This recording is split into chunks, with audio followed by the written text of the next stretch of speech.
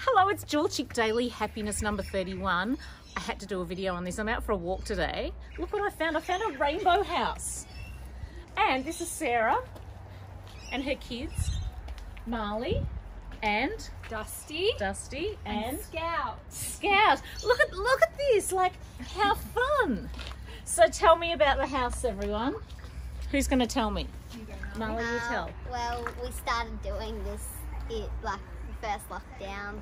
Then we've added a lot more rainbows.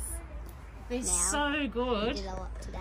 Like, look, everyone, they're everywhere. Like, in the window, here, on the wall, on the Front floor.